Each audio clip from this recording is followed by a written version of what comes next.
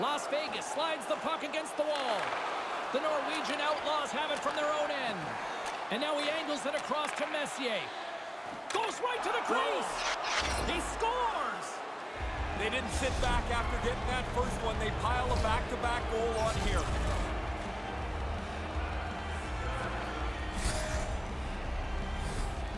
He had enough time to get his head up and pick the spot he wanted. He hit it perfectly, low stick side.